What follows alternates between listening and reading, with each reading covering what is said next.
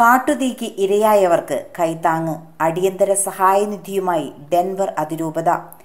American സംസ്ഥാനമായ കൊളറാഡോയിലെ ഡെൻവറിൽ കനത്ത നാശം വിതച്ച് കാട്ടുതീക്കിരയായവരുടെ സഹായത്തിനായി ഡെൻവർ അതിരൂപത അടിയന്തര സഹായനിധി പ്രഖ്യാപിച്ചു.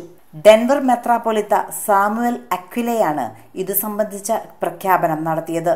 രണ്ട് ലക്ഷത്തി അമ്പതിനായിരം ഡോളറാണ് ഡെൻവർ അതിരൂപത സഹായനിധിക്കായി സംഭാവന ചെയ്തിരിക്കുന്നത്. സഹായനിധിക്ക് പുറമെ ഭവനരഹിതരായ കുടുംബങ്ങൾക്ക് അഭയം നൽകണമെന്ന് മെത്രാപൊലിത്ത അതിരൂപതയിലെ ഇടവകക്കാരോട് അഭ്യർത്ഥിച്ചിട്ടുണ്ട്. അപ്രതീക്ഷിതമായുണ്ടായ കാട്ടുതീ വടക്കൻ പടിഞ്ഞാറൻ മെട്രോ ഡെൻവർ പട്ടണങ്ങളായ സുപ്പീരിയറിലേക്കും ലൂയിസ് വില്ലയിലേക്കും ആറായിരം ഏക്കർ സ്ഥലത്തേക്ക് പടർന്നത് ഞെട്ടിപ്പിക്കുന്നതാണെന്ന് ബിഷപ്പ് പറഞ്ഞു. Saint Louis Sacred Heart of Immaculate Conception ഇടവക ജനങ്ങൾ ഉൾപ്പെടെ നൂറുകണക്കിന് ആളുകൾക്ക് തങ്ങളുടെ ഭവനങ്ങൾ നഷ്ടമായിട്ടുണ്ട്. അവർക്ക് നമ്മുടെ സഹായം ആവശ്യമാണെന്നും ബിഷപ്പ് കൂട്ടിച്ചേർത്തു.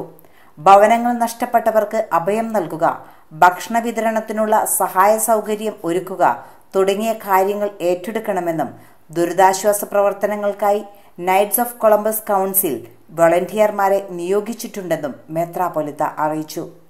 ജനുവരി എട്ട് ഒമ്പത് തീയതികളിലെ വിശുദ്ധ കുർബാനക്കിടയിലെ സോസ്ട്ര കാഴ്ച കാട്ടുതീ നാശനഷ്ടം വിതച്ച മേഖലയിലുള്ളവരുടെ സഹായത്തിനായി രൂപം നൽകിയിരിക്കുന്ന അടിയന്തര ദുരിതാശ്വാസ നിധിയിലേക്കായിരിക്കും സ്വീകരിക്കുകയെന്നും മെത്രാപൊലിത്ത അറിയിച്ചു.